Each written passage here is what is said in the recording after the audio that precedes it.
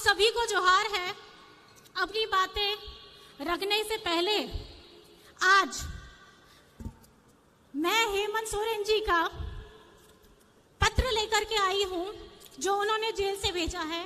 सबसे पहले मैं आपसे दरख्वास्त करना चाहूँगी कि उन्होंने जो भी लिखा है, आज मैं आपके सामने पढ़ने वाली हूँ, क्योंकि ये सारा संदेश आप सभी के लिए झारखंड वासियों के लिए पूरे देशवासियों के लिए है।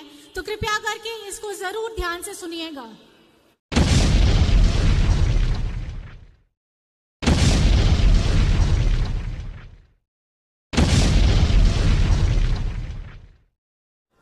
उलगुलान की धरती।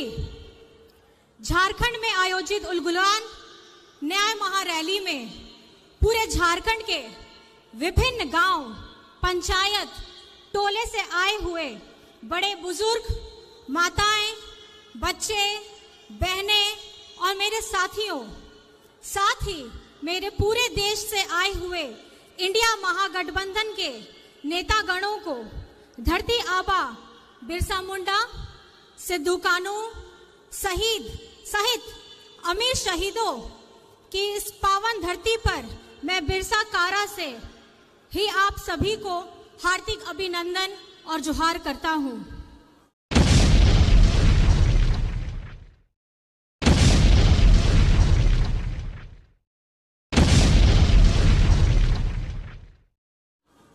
आज इस महारैली में मौजूद राज निर्माता विश्वम गुरु शिबू सोरेन जी को चरण स्पर्श करता हूँ।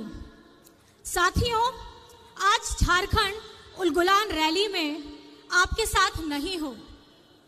आपको मालूम है कि विगत चार सालों से विपक्ष मेरे विरुद्ध षड्यंत्र रच रच कर आखिरकार एक बेबुनियाद आरोप के में मुझे कई ढाई महीनों से बिरसा जेल में बंद करके रखा है। और इसी प्रकार हमारे महागठबंधन दल के, आम आदमी पार्टी के मुख्यमंत्री अरविंद केजरीवाल जी को भी उनके सहयोगियों के साथ दिल्ली के तिहाड़ जेल में डाल रखा है। साथियों, ये आज़ादी के बाद पहली बार है जब किसी पार्टी के शीर्ष नेता एवं मुख्यमंत्रियों को और मंत्रियों को चुन करके चुनाव के ठीक पहले सुनियोजित तरीके से बेबुनियाद आरोपों पर जेलों में डाला जा रहा है। खैर, कोई बात नहीं, मुझे आज जेल में रहते हुए भी खुशी हो रही है कि जिस लोकतंत्र की रक्षा और हक अधिकार की लड़ाई को हम लड़ रहे हैं, उसे हम ही नहीं, बल्कि देश के और विभिन्न राज्यों के दल और क्रांतिकारी नेतागण वही लड़ाई लड़ रहे हैं। आज उलगुलान महारैली में आए क्रांतिकारी नेताओं की मौजूदगी इसका गवाह है कि आज इस उलगुलान महारैली के मंच पर आदरणीय मल्लिका अर्जुन खड़गे जी जो अभी नहीं है, राहुल गांधी जी, अखिलेश यादव जी, फारूक अब्दुल्ला जी, चंपई सोरेन जी, भगवत मान जी, तेजस्वी यादव जी, श्रीमती सुनीता केजरीवाल जी, दीपांकर भट्टाचार्य जी, संजय सिंह जी, श्रीमती प्रियंका चतुर्वेदी जी और विवेक गुप्ता जी का मैं पुनः अभिवादन करता हूँ। साथियों, आज का ये झारखंड उलगुलान महारैली से झारखंडी भाइयों की के नाम ने से कई बातों का पता चल रहा होगा। जी हाँ साथियों, उलगुलान का मतलब ही है, अब और नहीं चलेगी ठगों की सरकार।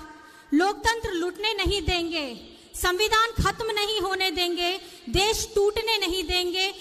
मेरे साथ आप लोग ज़ोर से बोलिए, इनकलाब जिंदाबाद! इनकलाब जिंदाबाद! साथियों 2024 का लोकसभा चुनाव चल रहा है। एक तरफ़ हम सब इंडिया महागठबंधन के लोग हैं और दूसरी तरफ़ पूंजीपतियों की जमात और षड्यंत्रकारी केंद्र सरकार एनडीए के लोग। साथियों, आज देश एक विषम परिस्थिति से गुजर रहा है। विगत 2014 से केंद्र में भाजपा एनडीए की सरकार चल रही है और दो दो बार देश की जनता ने एनडीए को सरकार बनने का मौका भी दिया। देश की सरकार का जनाधार को देश के लोगों ने दे दिया, पर पूरे देश की राज्यों की सरकार का जनाधार एनडीए को नहीं दिया। परंतु 2014 में एनडीए सरकार बनते ही पूरे देश के राज्यों में अपना कब्जा चाहते हैं। आपने सुना ही होगा, विभिन्न सूचना तंत्र के माध्यम से कि गैर भाजपा सरकार राज्यों को किस तरीके से परेशान और उनके साथ सौतेला व्यवहार किया जा रहा है। कहीं सरकार गिराई जा रही है तो कहीं एमपी एमएलए खरीद फरोख्त की जा रही है। जो गैर भाजपा सरकार उनके साथ नहीं आते हैं तो इसका उदाहरण है कि आज हम जेलों से अब आप तक बंदी पत्रों के माध्यम से संदेश भेजना पड़ रहा है। साथियों, यह देश हमें भीख में नहीं मिली है। इस देश को पाने के लिए अनगिनत शहादत हुई है। कई इतिहास की किताब हमारे स्वतंत्रता सेनानियों के नाम से पटे पड़े हैं। साथियों, विगत कई साल के षड्यंत्र का फल एनडीए को 2014 में पूर्ण बहुमत से सरकार बनाने को मिली। देश के लोगों को बड़ी चतुराई से सपने दिखाए। आँखों में धूल झोंका गया। हर जाति, धर्म के लोग को मूर्ख बनाया गया। बड़ी चतुराई से 2014 से आज तक देश के युवा, महिला, बुज़ुर्ग, किसान, आदिवासी दलितों को ठगा गया। ऐसे जैसे एक स्टेज में दिखाने वाला जादूगर किस तरह पूरे देश को अलग अलग माध्यम से अलग अलग सूचना तंत्रों के माध्यम से देशवासियों को निरंतर ठगने का प्रयास चल रहा है। इस चुनाव में बड़े पैमाने पर केंद्र एजेंसियों का दुरुपयोग किया जा रहा है। उनके माध्यम से विपक्ष की आवाज़ को कुचलने का काम शुरू हो रहा है। आज केंद्र सरकार ऐसे ऐसे कानून का निर्माण कर रही है जिससे देशवासियों को तो नुकसान होना ही है, चाहे वो किसी भी वर्ग, जाति, धर्म का ही क्यों ना हो। साथ ही साथ, इस देश के लोकतंत्र को भी खतरा होगा और संविधान को भी खतरा होगा।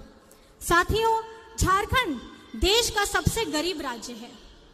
यहाँ के लोग गरीब हैं, पर झारखंड गरीब नहीं है।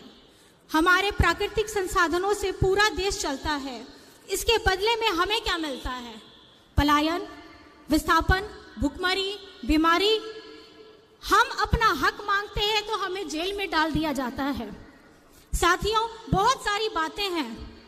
कहने को वर्तमान केंद्र सरकार के करतूतों के बारे में अगर बातें शुरू की जाए तो रात और दिन कम पड़ जाएगा। आज आपके सामने देश के कई अनुभवी नेतागण मौजूद हैं। क्रांतिकारी युवा साथीगण हैं। जो आप सभी को कई सारी बातें बताएँगे कि किस तरीके से पूरा, पूरे देश को केंद्र सरकार ने ठगा है और लूटा है। साथियों, हम जानते हैं झारखंड आदिवासी बहुल राज्य है। आप सभी को याद होगा, नहीं तो मैं याद दिलाता हूँ कि राज्य अलग होने के बाद राज्य में विधानसभा सीटों की संख्या बढ़ाने के लिए राज्य में परिसीमन का प्रस्ताव बढ़ गया था।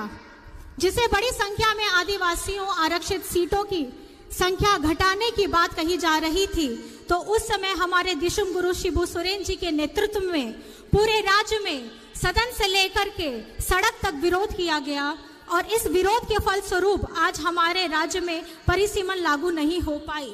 जब ये चर्चा चली, उस समय भी केंद्र में भाजपा की ही सरकार थी। 2025-26 तक के लिए के लिए इसको टाल दिया गया। यह विषय वर्तमान लोकसभा चुनाव के बाद फिर से राज्य के सामने आने वाला है। जैसे कि मैंने पहले भी बताया है कि केंद्र सरकार जिस तरह से नए नए कानून बना रही है, उन कानूनों में सबसे अधिक प्रभावित आदिवासी क्षेत्र और आदिवासी समुदाय को होने जा रहा है। झारखंडी सदियों से जल जगल ज़मीन के लिए लड़ाई लड़ता रहा है। जल जगल ज़मीन के लिए हमारे अनेक पूर्वजों ने अपनी शहादत दी है और आज के परिप्रेक्ष्य में केंद्र सरकार की सोच आदिवासी दलित पिछड़ा मजदूर किसान विरोधी रहा है। और इनके 10 साल की कार्यकाल में सबसे अधिक और बड़े ही निर्मम तरीके से आदिवासी समुदायों को और उनके अनुसूचित क्षेत्रों पर इनकी बुरी नज़र है। उदाहरण के तौर पर आप देख सकते हैं, विगत कई महीनों से मणिपुर जल रहा है। वहाँ के आदिवासी बहु बेटियों की इज़्ज़त लूटी जा रही है। पूरा देश देख रहा है, पर केंद्र सरकार चुप है। आज तक केंद्र सरकार ने कोई सूद नहीं ली है। ये है इनका आदिवासी प्रेम। लद्दाख को छठी अनुसूची में डालने का वादा कर वर्षों तक ठगा गया और अंत में छठी अनुसूची घोषित करने से मुकर गई। आज वहाँ के भयानक ठंड में भी लोग शून्य की डिग्री में भी अपना विरोध प्रदर्शन कर रहे हैं। ये है इनका आदिवासी प्रेम। साथियों, देश में सभी अधु शेड्यूल्ड एरिया पर इनकी गिद नज़र है। झारखंड में कई महत्वपूर्ण और संवेदनशील कानून लागू हैं, जैसे CNT act SPT act Wilkinson act इत्यादि।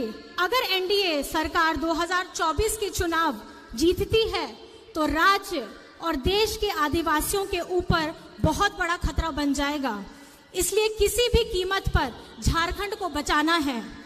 साथियों, झारखंड में कुछ संवेदनशील मुद्दे हैं, जैसे सरना धर्म कोड राज्य में लागू किया जाना, खतियान आधारित स्थानीय और नियोजन नीति बनाना, पिछड़ों को 27 प्रतिशत आरक्षण के लिए मार्ग प्रशस्त करना, स्थानीय भाषा और संस्कृति को पहचान दिलाने का कार्य करना इत्यादि। मैं इन विषयों पर विस्तृत में नहीं जा रहा हूँ, पर यह कहना चाहूँगा कि ये सभी चीज़ें तभी लागू होंगी जब केंद्र की पूंजीपति और तानाशाह सरकार को केंद्र से बेदखल किया जाए।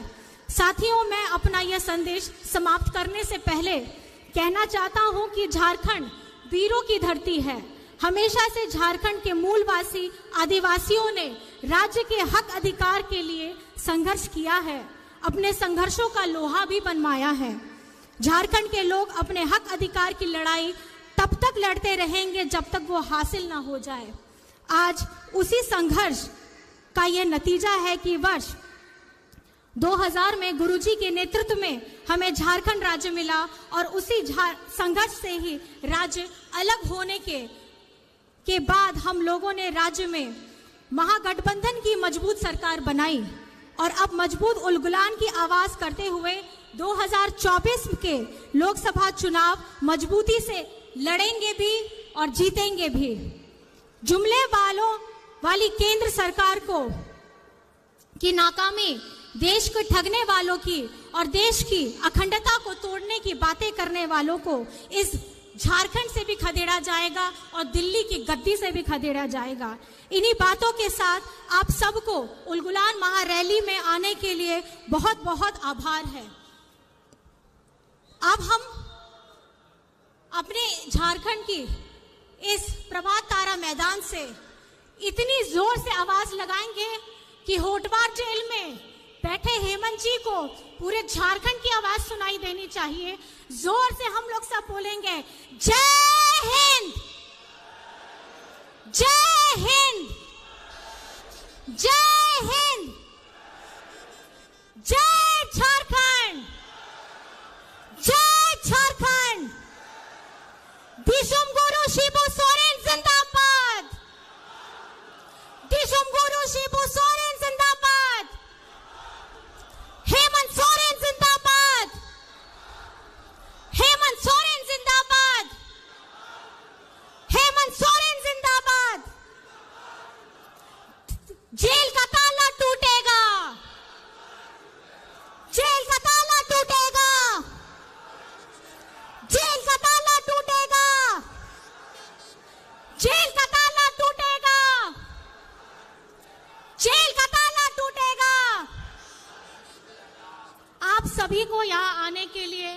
अपने हृदय की गहराइयों से मैं आप सभी को, आप सभी को आभार प्रकट करती हूँ। जोहार है।